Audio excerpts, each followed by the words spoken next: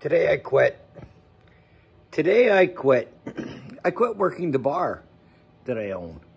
I haven't quit running for supplies or anything, but the truth of the matter is I can't live my life working the bar and running for supplies every day and enjoy any bit of life.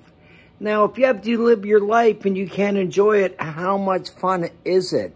That is the question. It took me a long time to figure it out, but nobody could make you happy. People can do things that make you happy, but it's only yourself that can make you happy. It's something that you have to give yourself. That's right. Nobody can make you happy. You work hard all day. Yeah. You know, you work hard all day running a bar, running for supplies, running for everything, just working your butt off. And what do you get at the end of the day? You might get a few beers, yeah. You might get a few of them, but then you get the TV. You know, you get like 1,800 channels of satellite. Oh, wait a minute here. You also might get, you also might get Netflix. That's right. You might get some Netflix, you know, you can pick what you want. You can watch The Walking Dead. You can pick whatever you want. It don't matter. It's all there.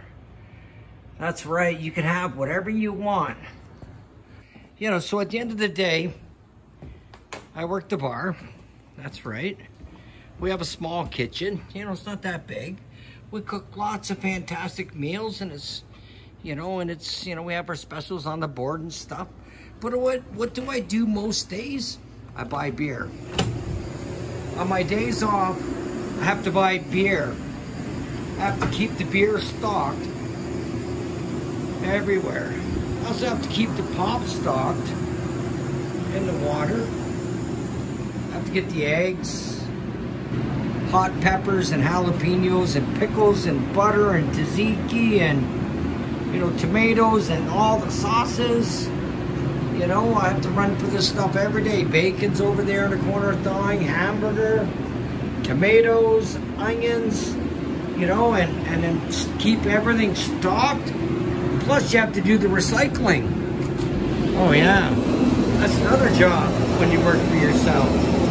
Bags and bags and bags of recycling and beer bottles and cans and, oh my, so much stuff that you got to do. Sorry about the loud noise, guys, because of the fan running. And then you work behind the bar. This is where you sit. You got the cash register. That's right. You sit right here, you know, and you deal with the customers all day. And then we don't have customers to deal with. We try to help our customers by selling their products and whatever. We got to keep the beer on ice because it's so hot, 35 degrees most days recently. You know, and, and then you got to buy the liquor, all the liquor and stuff. There's so much stuff to do when you work for yourself. It's unbelievable. You know, and every time you turn around, you know, there's stuff to do. It's unbelievable how much stuff you got to do when you work for yourself. You know, one of these days, I'm just going to stop. I'm just going to try to enjoy life. What's wrong with enjoying life? Who determines when we get to enjoy life? You know what I mean? I always thought that I want to do stuff that I love to do, but that's not how it works. You know what I mean? We have to answer to everybody. We have to answer to the government. We have to answer for taxes. We have to answer to the mortgage payer. We have to answer to the suppliers. We have to answer to our employees. They need jobs. They need to get paid. At the end of the day, guys, there's only one person in your corner. That's you. Maybe your wife will be there. Maybe your kids will be there. Maybe your friends will be there. Keep prepping, guys. Don't stop. That's all I have to say. Anyways, guys, enjoy the rest of your day.